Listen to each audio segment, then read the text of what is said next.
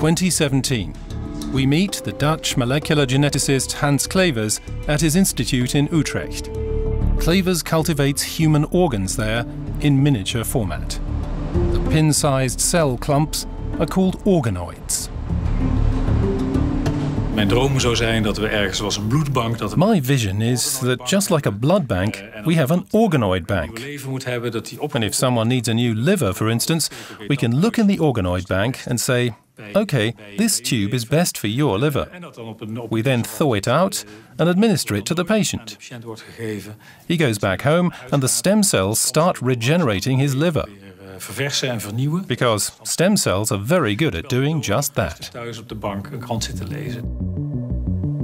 Big dreams, but can they stand up to reality?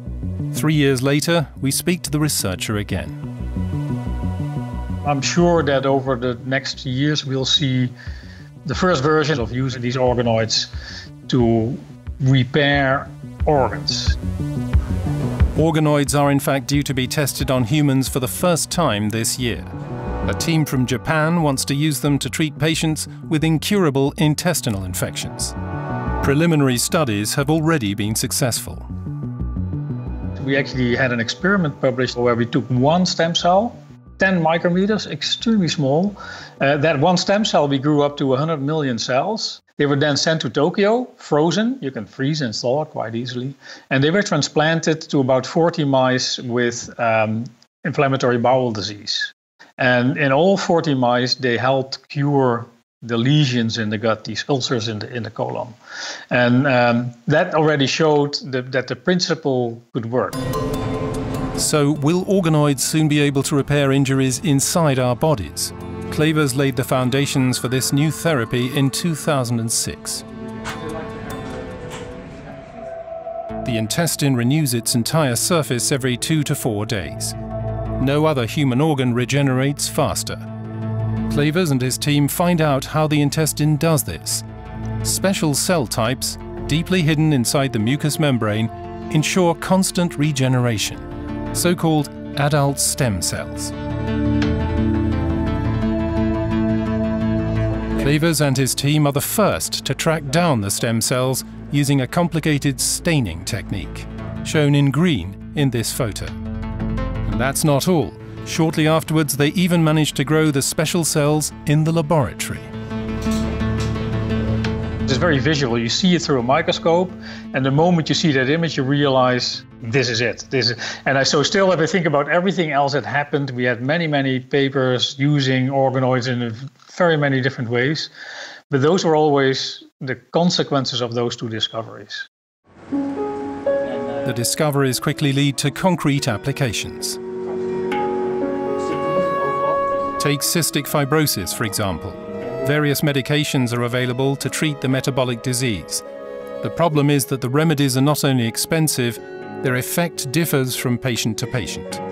So Clevers starts by testing the active substances on organoids he has grown from the patient's tissue. This saves money, and for the patients, it's far less stressful.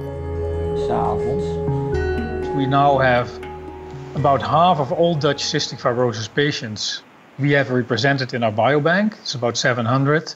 Uh, there are new methods to repair the, the gene defects of these patients. We very, very recently, just a month or so ago, published a paper uh, with so called CRISPR base editing, very advanced technique, where we could repair very specifically the, the DNA changes, the DNA errors in, in, in stem cells of these patients. Another field of application is the testing of new drugs and chemicals. Since research and industry are testing more and more active substances using organoids, it is increasingly possible to dispense with animal testing.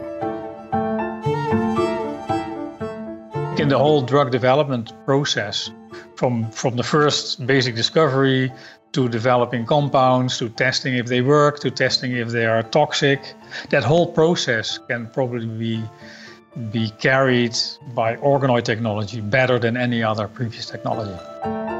According to Clevers, the main reason why all these diverse applications came about was because the researchers had had the technology patented early on, and then, through a non-profit institute called the Hub, Hub for Organoids, had made it available to science and industry in the form of paid licenses.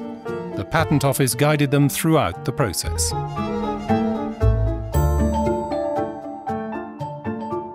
What we do is as soon as we have a discovery that would be patentable, we write a paper. And then when the paper is written, our patent lawyers convert that paper into a patent application. And while our paper is being reviewed, which you know usually takes multiple weeks or a few months, we can file you know, a good patent, a well-written patent. It doesn't delay us at all. Sometimes it even inspires us because the patent lawyers give us ideas back. They say, "You really haven't proven this," or "Have you thought about that?" or "That would be novel. You do this." So there's, in that sense, it's also scientifically very interesting to go through this whole, uh, yeah, this whole exercise. So the further development of organoids is making rapid progress. The clinical trials in Japan have been delayed by the corona crisis, but there's still a good chance that organoids will very soon be repairing sick organs inside our bodies.